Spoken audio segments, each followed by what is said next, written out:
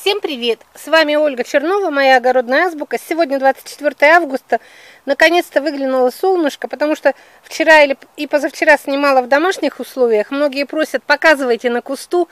Какое тут показывать на кусту, куда у нас был ливень с сплошняком. Не то, что видеосъемку снимать, выйти, помидоры даже я не выходила обирать. Хотя время уже поджимает, все томаты уже зреют очень-очень быстро. Срок подошел. Вот я сейчас подошла, чтобы описать два сорта – очень хорошие, очаровательные. Вот этот сорт Мисс Америка, это будет следующий видеоролик. И вот этот сорт, это фартовый. Если Мисс Америку я выращивала много лет уже, но она у меня уже очень давно, то фартовый я посадила в первый раз. И я все эти дни не снимала томаты специально. Я вот нижние кисти сняла уже давно, а эти не снимала, чтобы показать вам, как он выглядит. Но они уже начали опадать. Я еле-еле дождалась, когда кончится дождь. Я сейчас вам покажу. Я его посеяла, как я уже сказала, первый раз. И пачку за полгода я уже куда-то, не знаю, дела, не могла сегодня найти. Поэтому я вам просто расскажу. Он высокий, высокорослый, то есть индетерминантный. Вот у меня вырос метр пятьдесят пять, метр шестьдесят, как и заявлено производителем. Но в теплице, будьте осторожны, вырастает больше двух метров – а в одной статье я прочитала в интернете, что может вырасти и до трех метров.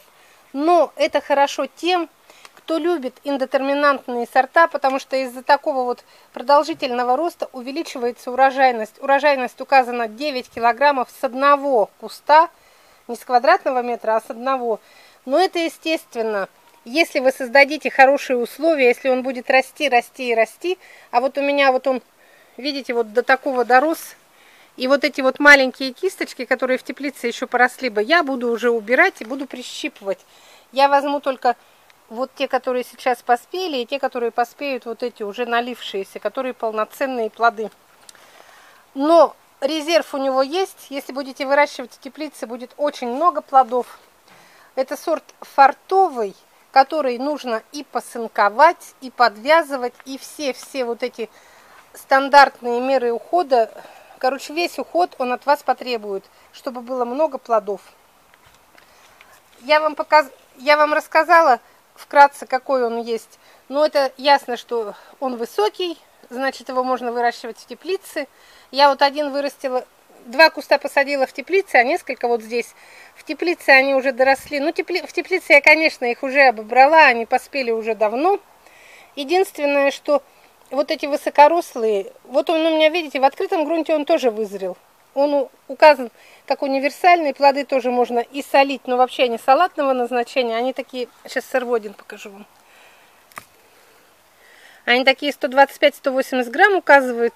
Ну, такой вот средний, хороший среднячок. Он вкусный, хороший тома томат. Но я вам хочу, именно хотела показать то, что у него много кистей.